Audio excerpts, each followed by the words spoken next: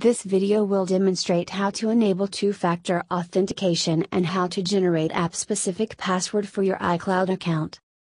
You must use one of your Apple devices to enable two-factor authentication. First of all, open Settings. Then open iCloud and go to Password and Security. Lastly press on Turn on Two-Factor Authentication.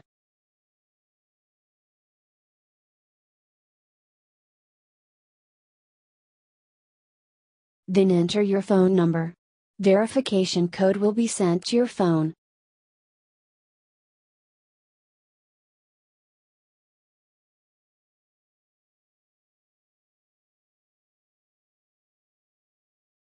When you receive the code, Enter it on your device to verify your identity.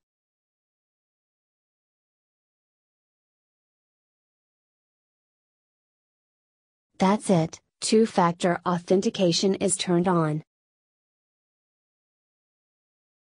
When two-factor authentication is turned on, you can generate app-specific password. First of all, log into your Apple ID account. Then enter the code that was sent to your mobile device.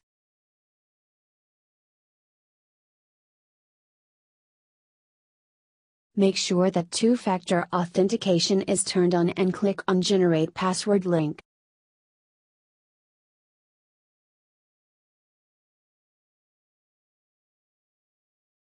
Enter the name of the application or service that you are generating the password for.